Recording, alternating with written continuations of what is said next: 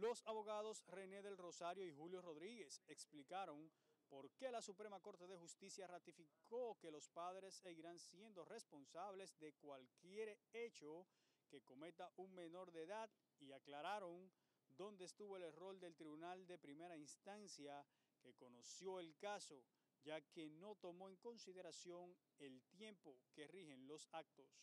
El Tribunal de Primera Instancia cometió error en aplicación de la ley en el sentido de que obvió que la carga indemnizatoria en el momento que cometieron los hechos recaía sobre los padres. La Suprema lo que ha hecho es reafirmar el criterio del principio que te he señalado precedentemente. Los padres son civilmente responsables de lo que hagan sus hijos menores de edad, siempre y cuando lo mismo no estén emancipados. Me explico.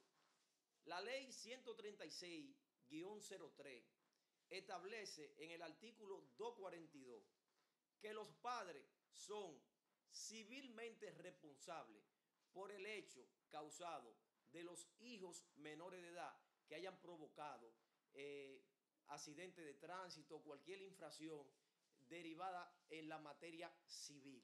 Asimismo, el abogado Julio Rodríguez consideró que la decisión del tribunal manda un mensaje claro a las familias dominicanas en relación a la decisión. La Suprema Corte de Justicia ha sido muy, eh, ha, marcado un precedente con esta eh, jurisdicción. Y yo me voy más lejos con esta decisión. Siempre que haya una acción resalcitoria a causa de un hecho propio de un menor, la persona responsable serán las personas que te he señalado. Los juristas agregaron que el Ministerio Público debe prestar atención a muchos casos que involucran a menores de edad, ya que surgen muchas confusiones y decisiones erróneas. Para Telenoticias, Wilson Mejía.